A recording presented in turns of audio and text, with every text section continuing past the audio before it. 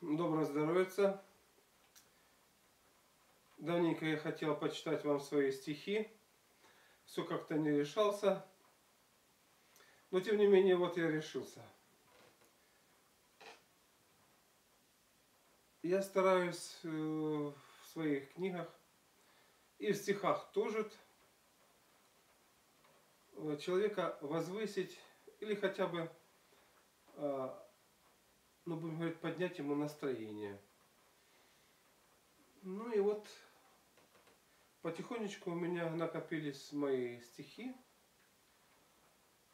которые я сам сочинил, которые мне дали сверху, и я заострю ваше внимание, которые я сам сочинил, которые значит, прошли через меня в таком вот возвышенном состоянии. И задача, я думаю, заключается в том, что вы будете смотреть э, это видео, слушать мои стихи, и вы обратите внимание на свое э, душевное состояние, как оно меняется, какие эмоции появляются. Ну, как говорится, ближе к делу. Свои стихи я сразу же записываю на телефон, чтобы не забывать. И, кстати, стихи помогают бороться со старческим слабоумием, чтобы у вас работал мозг, чтобы была память, чтобы вы сохранили ясность мысли в любом возрасте, особенно в пожилом. Итак, стихи. Самый последний. Белый снег на землю ляжет, и грехи мои замажет. Снова чисто, снова ново, и душа на все готова. Это был самый последний стишок. А это вот предпоследний. Не то уж солнышко, что летом, не тот и воздух по утрам, и осень нас бодрит своим приветом. Дальше не сочинил. А, здесь, насколько я понял, важно не то, чтобы что-то длинное такое сочинить, а хотя бы две строчки, но чтобы они были там в рифму, чтобы, говорить, хотя бы вам что-то там такое нравилось. Вот, значит, один из э, вариантов такого стихотворения – наяву или во сне. Я немножко люблю, говорить так сказать, тайну, что-то такое потустороннее, что, э, что движет человеком, что его окружает, что его как-то подталкивает, что его в конце концов оберегает и дает, как бы сказать, э, надежду на лучшую жизнь. Итак, вариант наяву или во сне. Или наяву, или во сне, скорее где-то между ними. Я вижу птицу на плече и слышу шепот ее мне. Жди изменения в судьбе. Твои слова, дела и мысли, пределы, что отведены, уже наполнены, созрели, оформились прекрасные. Плод и вас награда, сударь, ждет. Вот такое стихотворение называется «Мы в жизнь приходим». Мы в жизнь приходим, чтобы трудиться, трудиться над своей судьбой, любить, мечтать и веселиться, болеть, страдать, переживать и опыт жизни получать, который нас с тобой меняет, от скверны всякой очищает, вратами, тем, вратами темными ведет, где нас Творец с тобой ждет. Ага, тут несколько иное надо мы в жизнь приходим, чтобы трудиться, трудиться над своей судьбой, любить, мечтать и веселиться, болеть, страдать, переживать и опыт жизни получать, который нас с тобой меняет, от скверны всякой очищает, вратами тесными ведет, где нас Творец с тобою ждет. Вот это вот правильный вариант. А, люблю я такие, знаете, стихотворения но веселые такие, озорные, будем так говорить. Года бегут, а дурь на месте. И пусть лысеет голова, но мы стареем с дурью вместе. И это здорово, друзья. Без дури сразу умирают, а с дурью весело живут. Играют, прыгают, хохочут и даже деток создают. Вот такое вот стихотворение шаловливое. Летят косматые тучи, и гонит ветер могучий, и там за высокой кручей нас встретит счастливый случай. Кстати, это стихотворение можно как своего рода ну, заклинание повторять для того, чтобы привлечь этот счастливый случай. Ну, чтобы вам, как бы сказать, э, не то, что я там себя пробую э, в стихотворчестве, э, в пении, э, в сочинении музыки, все это на начатках. Над всем этим надо работать, глядишь, что-то получится. Пока, пока, ну это так, вот то, что имеется, то и имеется, не более того, без всяких, э, без всяких претензий. Но тем не менее, я э, пропою вам такую песню, которая называется «Цветет и пахнет абрикос». Как раз это когда было дело летом. Цветет и пахнет абрикос, весна бушует так и надо. А у меня один вопрос, а у меня один вопрос, где ты живешь, моя отрада? Весной девчонки, как цветы, нарядные пахнут и красивые. Их платье словно лепестки, их платье словно васильки, и голову мою волнуют. Тебе я смело подойду, смущение пряча за улыбкой. И за руку тебя возьму, в твои глаза я загляну, это будет не ошибкой. Цветет и пахнет абрикос, и белый цвет подобен снегу. Весной волнует нас любовь, весной волнует нас любовь, и это здорово, ей-богу. А почему бы и нет? Ведь это действительно здорово. Так, сочиняя и детские э, стишки такие. Ну вот, например, про щеночка. Щеночек-дворняжка ко мне подбежал, руку лизнул, хвостом завилял. Ищет хозяина верного он, чтоб будочку сделал, вкусно кормил и на прогулку всегда выводил. Дальше я не стал сочинять, хотя можно там будет хозяина пес защищать. Ну, это э, вроде бы такое, сейчас как раз у нас 15 декабря, на улице у нас не мороз, а дождь, такая мерзопакостная погода. И вот для того, чтобы развеселиться или, как бы сказать, поднять себе настроение, и вот такое шутливое, но тем не менее с философским уклоном стихотворение. Когда на улице дубарь, а это верно ведь январь, ты лучше дома посиди, чаек попей, смотри в окошко, голодных птичек покорми, и о чуть погрусти. А там весна, и все растает, и лето жаркое придет, свои проблемы принесет. Уж коль январь такой случился, в июле сморит всех жара. Купаться будем до утра и тело покрывать загаром.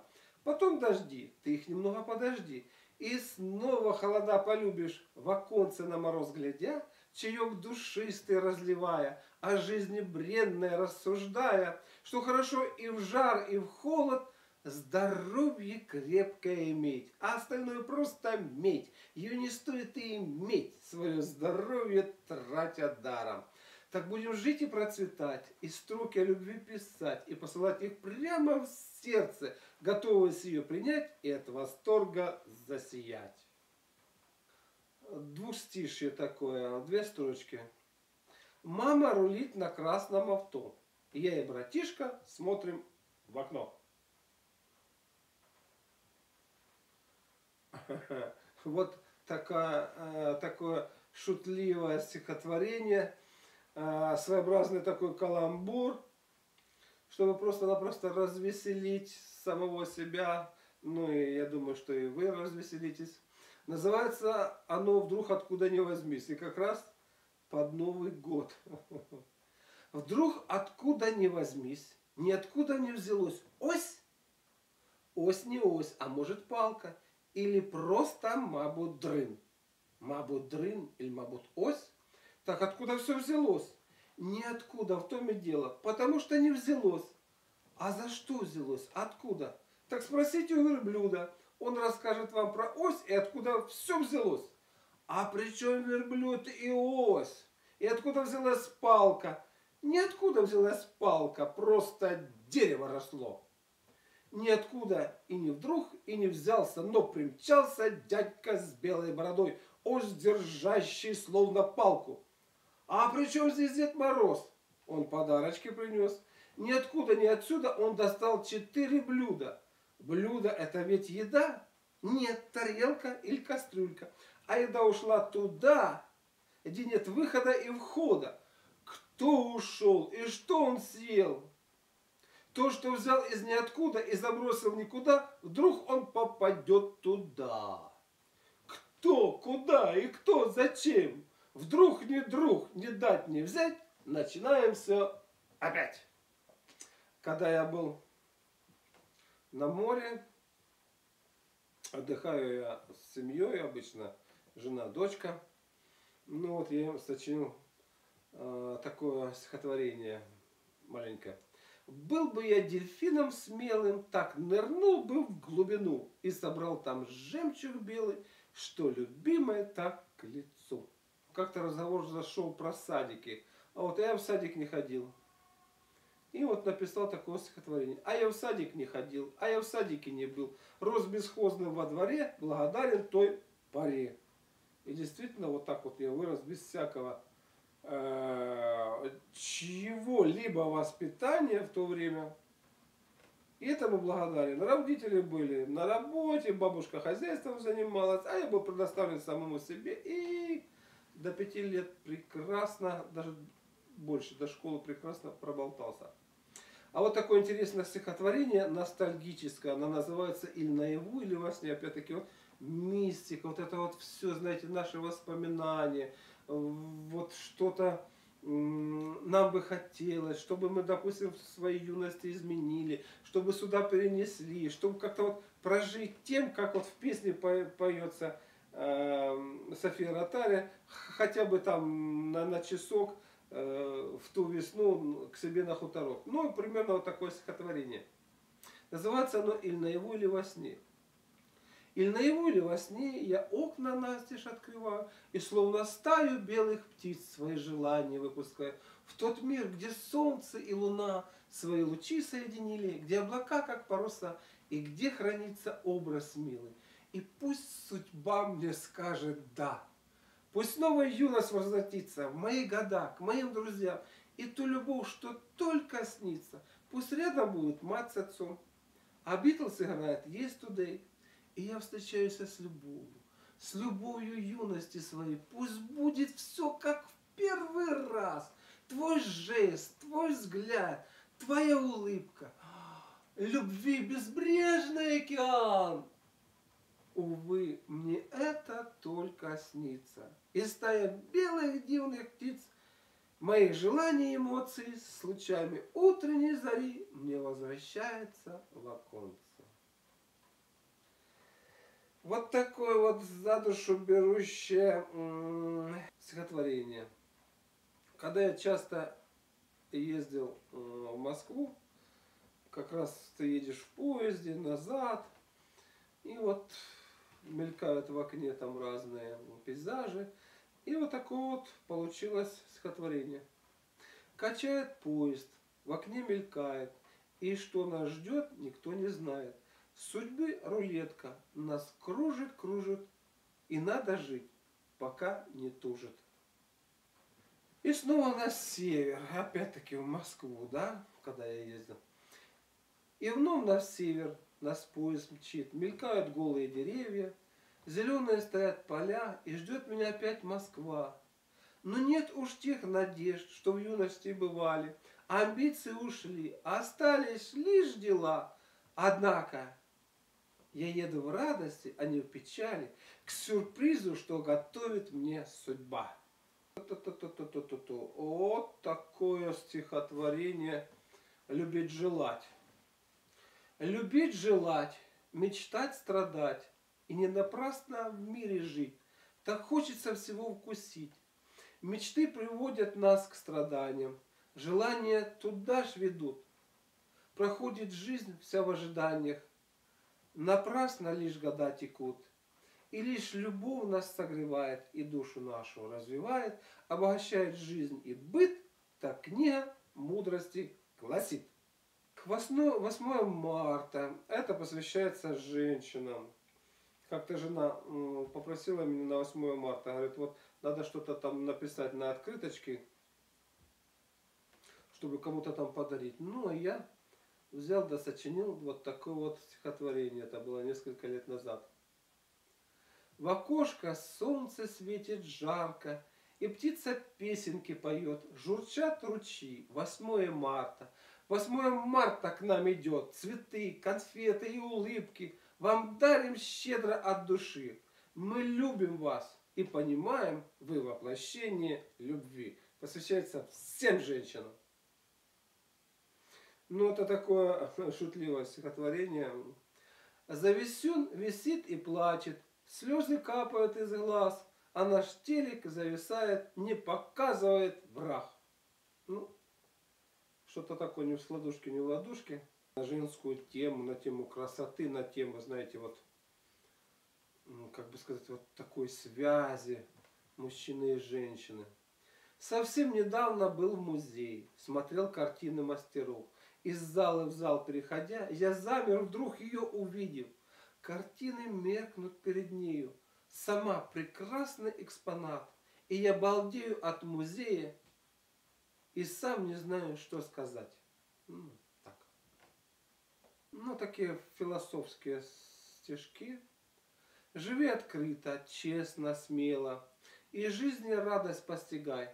А если будут в ней ошибки, их осознай и исправляй. Чем надо, в принципе, и заниматься. Была без радости любовь, разлука будет без печали. Э, стихотворение не окончено, но тем не менее интересны такие строки. Не бойся жить, истина одна, иди смелей, влюбляйся без оглядки, не предавай мечту расти детей и не мешай Творцу, твори. Он был из умных и лихих, тех, что не всякому приятны. Но больше не было таких, да и не будет, вероятно. Только это не о себе, а стихи, но тем не менее вот такое интересное. Да, и вот мы наконец-таки дошли до таких э, стихотворений. Их всего у меня два, которые я просто записал. Когда ты к чему-то стремишься, в каком-то направлении работаешь, это направление начинает работать с тобой, оно откликается. Понимаете, идет вот интересная такая вот взаимная вещь. Это как сейчас вот в интернете, ты набираешь какой-то адрес, ты стремишься к какому-то сайту, к каким-то там, допустим, статье, и та статья идет тебе навстречу раз в твоем компьютере. Вот примерно так и у меня получилось. И э, я просто записал это стихотворение. Она называется «Я мера мироздания». Это будто с тобой говорит вот это вот все действительно мироздание, в котором ты находишься, и оно ждет от тебя, что ты будешь сотрудником ее. Ты ее частица – должен ее не разрушать, как клеточка в организме. Она может превратиться в раковую клетку и разрушить все это мироздание. Так точно и человек может разрушать своими мыслями, своими делами, уж я не говорю там планету и так далее, даже до мироздания. И вот оно так с тобой говорит. Я мера мироздания, и глубина, и ширина, и воплощение знания. Я корень слов, источник жизни и миру. Я формирую бытие, свое, ее, вселенной всей. источники любви своей, которой космос заполняю. Я так живу и процветаю, буду жить и процветать, любовь и счастье воплощать. Заполню этим все миры, где, будешь где буду я, где будешь ты, ведь я и ты две меры этой красоты. Мы действительно две меры этой красоты. И я, знаете, э, уже давненько перестал кого-то осуждать, а тем более обзывать и, и ругаться. Да, человек находится на той или иной э, ступени своего развития, совершенства. Ну, он ее проходит, он вот такой, его надо принять. Э, можно ему там что-то подсказать, если он там поймет, но э, осуждать его за тот опыт, который он должен получить, таким путем, ну никак его нельзя. Поэтому, ну, ну вот такое вот. Сразу прочитаю другое, такое же стихотворение, которое прошло через меня. Они запомнились, как-то, знаете, так как прочертились во мне. Я тайну, так как я со словом работаю, и мне, вот, знаете, очень важно в своих сейчас книгах, э, ну, в речи не особо, конечно, я такой не речистый, но тем не менее я стараюсь, чтобы мысль отображали те слова, которые соответствуют этому. Всю иностранщину я стараюсь исключить, потому что она только нас выводит из... А, важно, чтобы твоя мысль была оформлена в соответствующие слова, которые бы связывались, вот знаете, как адрес вы только даете в интернете, и он связывается именно с тем файлом, какой должен быть. Если какие-то искажения небольшие идут, то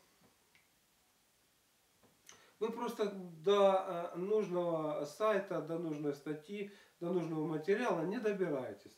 Поэтому я стараюсь. И вот я особо обратил на это дело внимание, старался, знаете, только хорошие слова, вот такую методику использовать. И она принесла свои плоды. Прошло вот такое через меня стихотворение. Я тайну слова постигаю, которым Бог творил миры. Оно во мне, я это знаю. Чудесной, дивной красоты. Оно основа существа и заставляет сердце биться, любить, творить и верить в жизнь, что вечно, вечно, вечно длится. Его я вспомнил, произнес, и чудо дивное случилось. Свет счастья брызнул из меня, и время юности явилось. Теперь живу, люблю, творю, а слово тайное храню. Поэтому очень важно, чтобы вы... Шутливое стихотворение. Вареная курица, она уж не жмурится. Вареная курица не может летать. Лежит на тарелке, не вякает, не бякает. А я ее буду сейчас вилкой ковырять. Это такое стихотворение отдыхающее. Когда вот отпуск, и вы едете на море.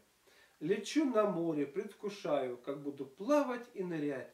Там много неба голубого и бирюзовая вода. Дельфин резвится на просторе, и яхта белая видна. Там плещут волны, слух лаская. И там меня, конечно, ждут мечты, что в небо увлекают, и сны, что в рай ведут. Ну вот когда начались события на Украине, вот это на Донбассе, вот родились такие строки. Как хочется хороших новостей, чтоб кончилась война, и дети гром не путались со взрывом. Цвели сады и наслаждаться тишиной, той тишиной, что называем миром. Такое четверостишье, посвященное объяснению, почему я не курю. Сигарета, сигарета, два конца и все в дыму, полная яда никотина, и за это не куру. Много стихотворений я посвящаю э, дому, домашнему очагу, уюту, семье. В доме уютно и светло, лучик солнца бьет в окно, тишина и благодать, хорошо здесь проживать. Рядом речка, соловьи, слышится кукушка, и жена мне говорит о любви на ушко. Вот когда бывают трудности и кажется уже все, все полетело в тартарары, и нет сил собраться, я советую, ну, вот такие вот хотя бы мои строки читать. Возможно, это был конец, который стал всему началом. Я ногу ставлю на ступень и начинаю все сначала. И вы знаете, я э, прошел для себя вот это вот оздоровление. Конечно, я им еще буду заниматься. Но меня интересуют различные аспекты творчества. И до того, как были проблемы со здоровьем, они меня интересовали. Но, естественно, все пришлось отставить и выбирать, либо ты выживаешь, либо ты, значит, не выживаешь. Тут уже не до творчества. И все это дело меня, конечно, увлекло сильно, здорово, на долгие годы. Но вот теперь, теперь когда, как бы сказать, не хочу сказать, что я все там познал, но то, что вот мне, то, что я знал, этого хватит на данную жизнь, мне хочется заняться каким-то другим э, видом творчества там. Ну, посмотрим. И вот я хочу выделить время для этого. Когда я был на Красном море, я сидел вот так примерно на берегу, смотрел на море, и родились такие стихи. Синее море красным зовется, пальмы метелками тянутся вверх, ветер ласкает и солнце смеется, так оцени это все человек. То есть вообще-то это можно в средней полосе оценить, понимаете? Простые вещи оказываются самыми желанными, самыми-самыми вот, ну, ценными. А не то, что, конечно, там машины, коробочки различные на колесах. И это просто так, чтобы показать, что ты не хуже других. Вариант этого стихотворения. Синее море взор расслабляет, белые гребни бегут по воде. Так хорошо лишь у моря бывает, сон наяву или грезы во сне. Очень удачно подобраны слова, и понимаете, вот действительно, если удачно подобраны слова, ну не говоря уж, конечно, о рифме, то это вот производит на всю твою сущность такое какое-то мощное э, впечатление, и ты, как бы сказать, со своим духом начинаешь резонировать, и он тебе дает подпитку. Так, ну и дальше идет. Ласковый ветер с моря струится. Белый кораблик плывет по волнам. Все это красиво и поэтично, если в гармонии с разумом сам. То есть я как раз вот когда отдыхал на этом Красном море, вот, вот такое вот состояние, знаете, беззаботное. Ты смотришь вот в синее там море, полно рыбок, значит, э, над тобой безоблачное небо. Все это как-то вот привело к тому, что ты вошел в такой интересный резонанс, и появились такие вот строки. Красивые формы, чудесный загар. Проходит она и волнуется чувство, и я ощущаю божественный дар желать и любить то, что в сердце хранится. Желать и любить. Откуда он? Он действительно в наших сердцах. О, какой это дар. И как он вас, вас облагораживает. А, Синайский вечер томно наступает, и темнота нас нежно обнимает. Чуть освежает с моря ветерок, и я запомню этот вечерок. Ах, какие вечера бывают, как они врезаются в память. Вечера весенние, летние, зимние, осенние, все они э, оставляют в нас э, свой отпечаток. Только просто надо этому уделить время. Ну не уделяем мы время, все спешим что-то куда-то. И мы пропускаем саму жизнь за какими-то суетными мыслями. Каламбур. Называется «Желтое полотенце» лежит под солнцем, выцветает, Нет, она просто загорает. А что лежит и загорает? Ну что, что просто, просто выцветает. Такой словесный каламбур да поместит под абажур, тогда все станет на места, где была раньше пустота. А, а вот это, конечно, такие, знаете, ну, как бы это назвать, но я считаю, это очень удачный такой словесный оборот с таким, с некоторым смыслом. Называется «Но после этой даты». Но после этой даты оказался он под датой. И не важно, что за дата. Ведь она уже под дата. А когда она под дата, нам сойдет любая дата. Про шведский стол. Ах, шведский стол, ах, шведский стол. Для мысли творческой простор. Обетованная земля, где много всякого жратья. Колбасы, утки, мармелад. И для гурманов шоколад рогалик, пончик, сахарок, бери побольше и ешь впрок. Детское стихотворение я немножечко сочинил, выставил в интернет. А, народ потребовал продолжения. Кстати, его можно и как песенку спеть. И я как раз и вот это вот э, стихотворение пропою. Вы уж извините за такого певца, но тем не менее. Душа просит.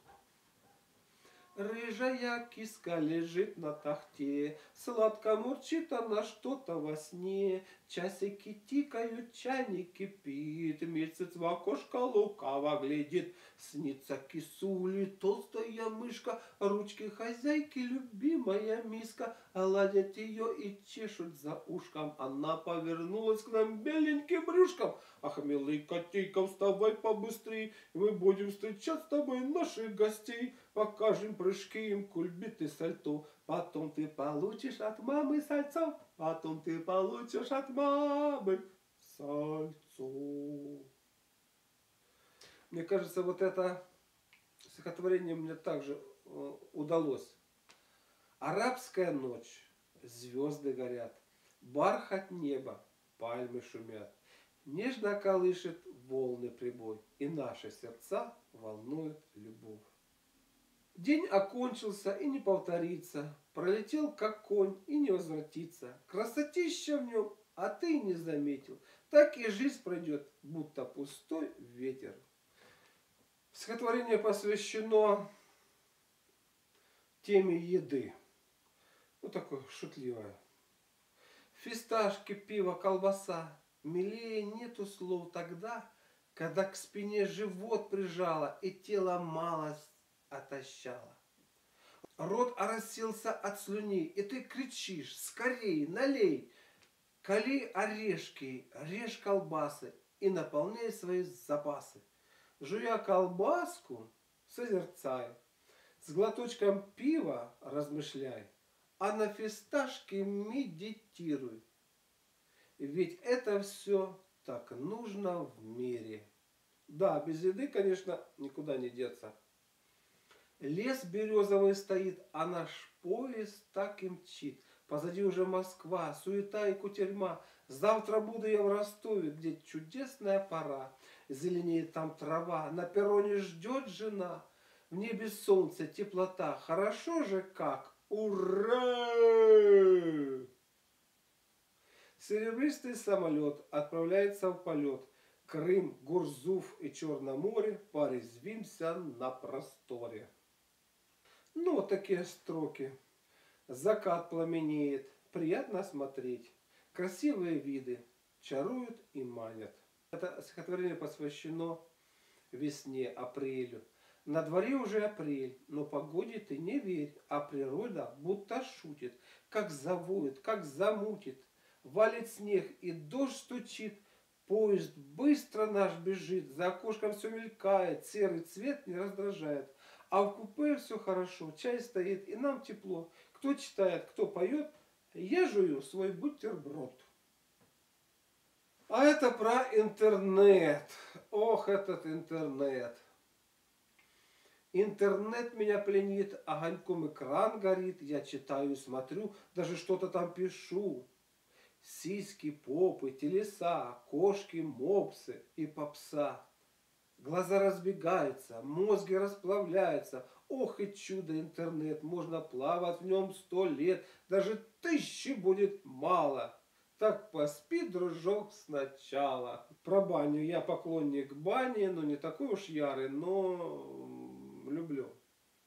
В бане был, парился, в клубах пара жарился, веником махал, потом истекал. Вышел обновленный и во все влюбленный. Ох и баня, жар, вода, мои лучшие друзья. А, частенько я езжу на машине, вы уже видели все эти мои машины неоднократно, да, в том числе и ночью.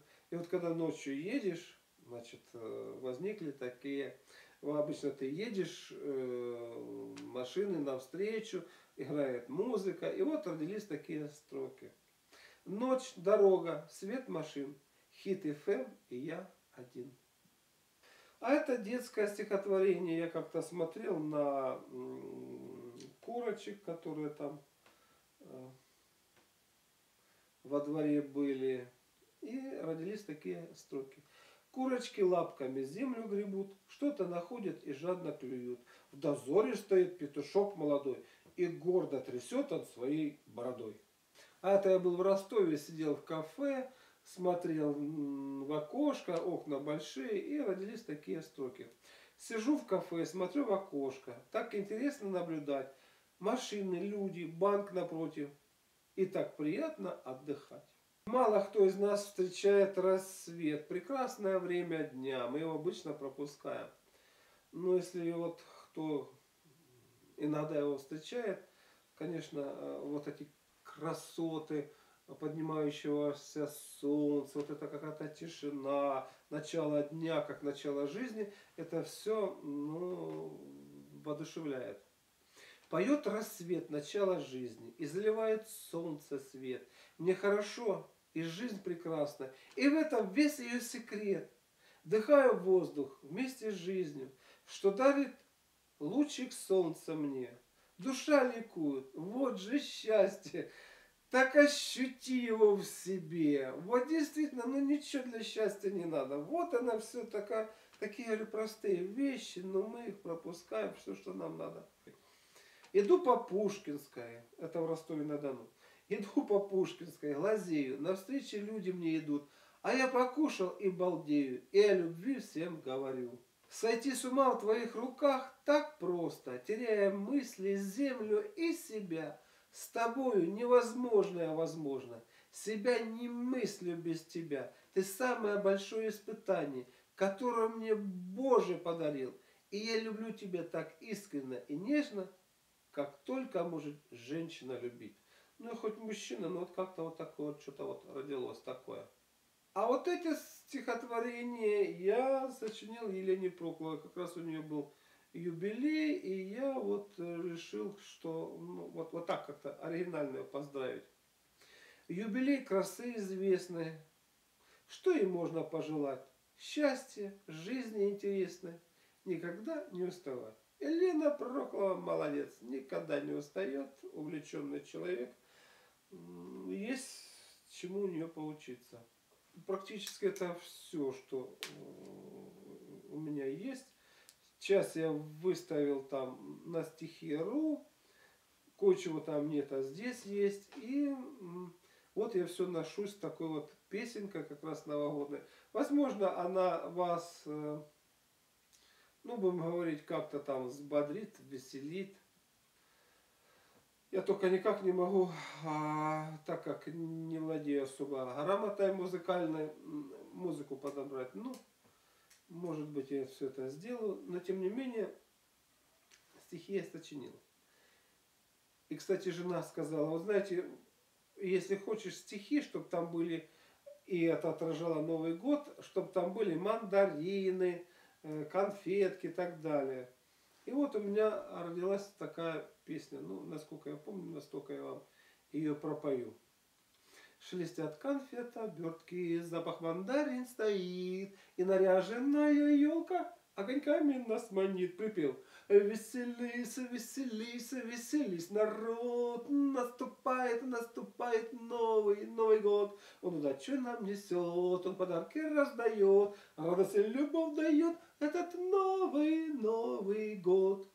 Так не спи, дружок сердечный, подними бокал скорей, загадай свое желание и под звон курантов пей. Ах, веселись, веселись, веселись, народ. Наступает наступает новый, Новый год. Он удачу нам несет, он подарки раздает, радость и любовь дает этот новый, Новый год. Снова детство к нам вернулось, волшебства мы жадно ждем, и под чоканье бокалов входит счастье в каждый дом. Ах!